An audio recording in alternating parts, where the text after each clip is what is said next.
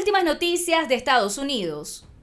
Hoy les presentamos una información muy relevante para nuestro país hermano, Estados Unidos, y por qué no decirlo para el resto del mundo, porque lo que pasa en Estados Unidos pasa en el mundo. Sin más preámbulos, vamos de inmediato con la noticia. Hoy les vamos a dar información sobre unas demandas que están presentando los republicanos. ¿Contra quién y por qué? Ya les vamos a dar más detalles.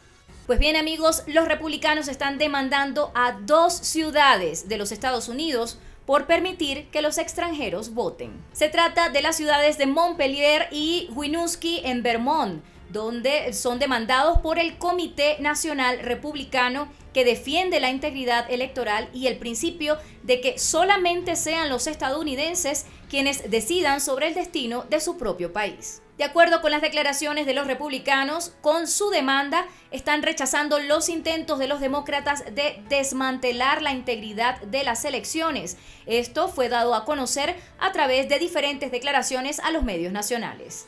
La presidenta de este Comité Nacional Republicano, Rona McDaniel, declaró que el partido está contraatacando ante esta arremetida de la extrema izquierda contra la integridad de las elecciones. A diferencia de los demócratas radicales, creemos que nuestras elecciones, dijo McDaniel, deben ser decididas únicamente por los ciudadanos de nuestro país. En este sentido, también se manifestó el senador estatal de Vermont, Brian Collamore, un republicano, señalando que el proyecto de ley de Montpelier permite que lo que se define como un residente legal de Estados Unidos pueda votar en las elecciones de la ciudad.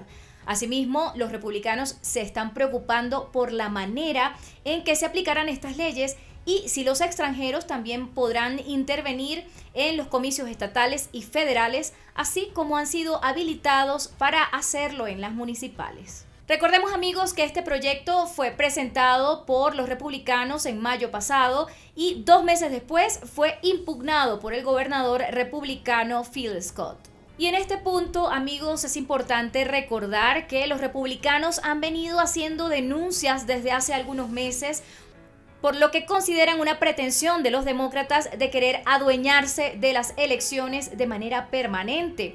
Así, por ejemplo, lo comentó el senador Bill Haggerty, un republicano de Tennessee, al referirse a estas leyes que han estado intentando aprobar en diferentes regiones, en diferentes estados del país.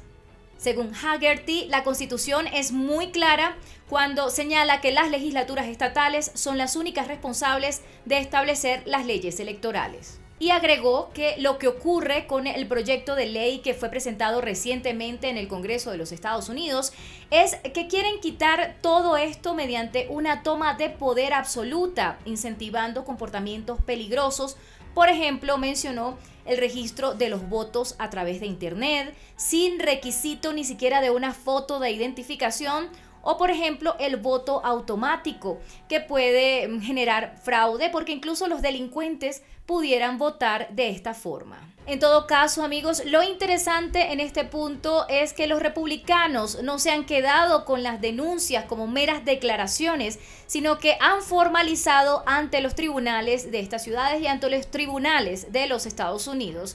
Así que amigos, por favor, dejen sus comentarios sobre estas iniciativas que están llevando a cabo los republicanos. ¿Las consideran acertadas? No olviden comentar y regalarnos un like. Hasta una próxima oportunidad.